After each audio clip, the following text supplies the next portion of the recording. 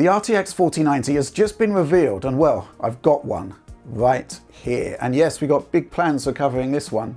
Performance is on another level, gen on gen, one of the biggest leaps we've seen. So high refresh rate 4K gaming, and so by extension even 8K at 60 FPS and higher.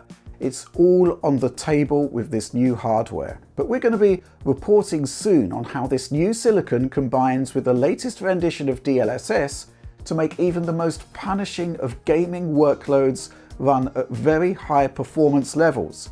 So what you've been seeing play out here is 4K 120 FPS capture we took from a preview build of CD Projekt Red's Cyberpunk 2077. Settings ramped up, ray tracing at max, psycho settings. Now, there isn't a full-speed 120 FPS video streaming system out there right now, so you're seeing it at 50% slow motion, and it's captured entirely on RTX 4090 with DLSS 3 enabled. In our upcoming content, I'll be taking a closer look at DLSS 3, examining how NVIDIA's new machine learning-based AI generation system works.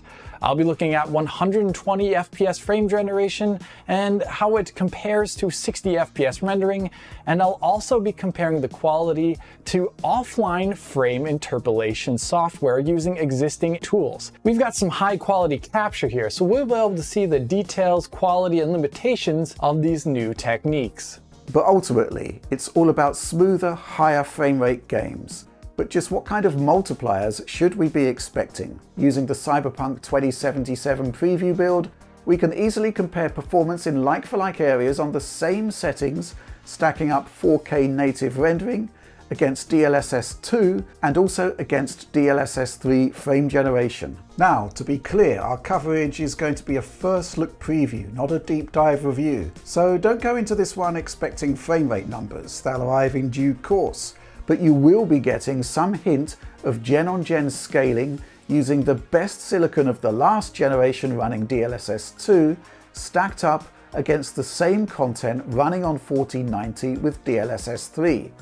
You've already seen some numbers here, but there's much more analysis to come. Look out for our report on RTX 4090 and the new DLSS coming soon.